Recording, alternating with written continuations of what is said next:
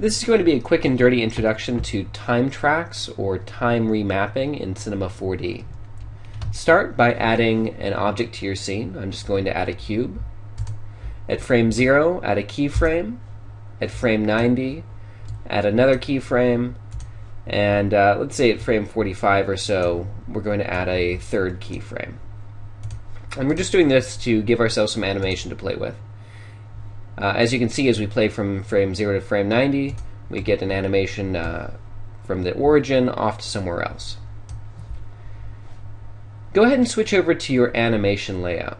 So change from standard to animation. And once you've done that, go ahead and find your cube in your timeline. Right click on the cube and choose Add Special Tracks Time Track. And what you're going to get is a new track with two keyframes by default. The first is going to be for 0%, and the second is going to be set to 100%. And what this means is that uh, we're going to be progressing through time in a, a, sort of a normal way, the way we would expect. We start at the beginning of time and we end at the end of time. At the moment, this track is not affecting anything. Uh, in order for it to affect something, we have to assign this time track to different uh, animation tracks. So say we want to apply it to the position of our object. So click on position here.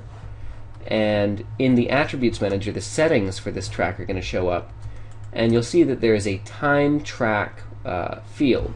Drag your time track into there. So now when we press play, whatever we do to this time track will affect our position. So uh, a fun thing to do might be to just hold down control and click to add a keyframe in the middle of our graph here and uh, reverse the handles a bit. So now when we go back to the beginning and press play, we go out and up, we swoop back, and then we go back out again.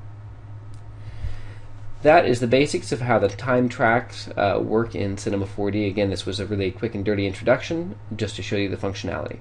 Okay.